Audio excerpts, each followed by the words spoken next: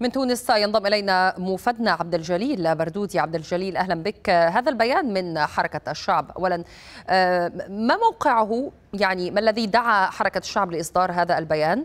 ما الذي يمثله أيضا هذا الموقف؟ وما الجديد بخصوص التطورات السياسية الأخرى؟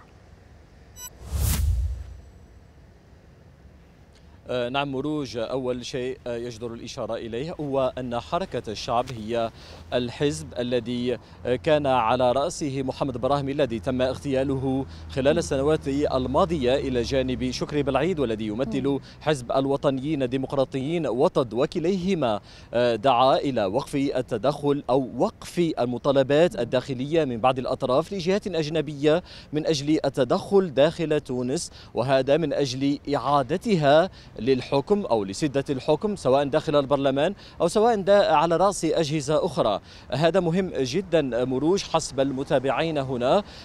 أيضا كان حزب القطب أمس وهو حزب وسطي يساري. قد طالب أيضا بمحاسبة حركة النهضة ووقف الدعوات الداخلية من أجل التدخل الخارجي في شؤون تونس.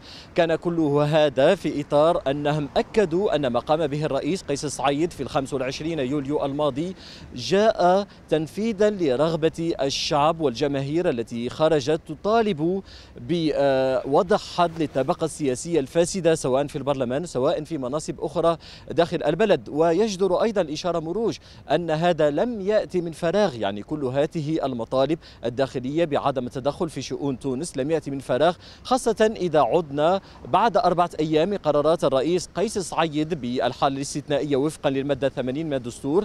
والتي جاء بعدها أن أن رئيس حركة النهضة ورئيس البرلمان في نفس الوقت رشيد الغنوشي وخلال مقابلة صحفية مع كورييري ديلا سيرا وهي جريدة إيطالية كان قد هدد إيطاليا وأوروبا بأنه يمكن للوضع الحالي أن يفتح المجال بذهاب أكثر من 500 مهاجر غير شرعي بالإضافة أيضا أنهم أنه هددهم بطريقة غير مباشرة بالإرهاب وهذا حسب مراقبين هنا يدل على أنه حاول أن يضغط على نعم. تونس يعني على الداخل التونسي من خلال دول خارجية يعني هذا كله يأتي في إطار تحرك هذه الأحزاب من أجل منع أي ضغوطات داخلية يستعملها أو نعم. تستعملها بعض الجهات من طرف الخارج من أجل الضغط والعودة إلى ما قبل 25 يوليو وهو أمر يرفضه الشعب الشارع وأيضا الأطياف السياسية ومختلف الأحزاب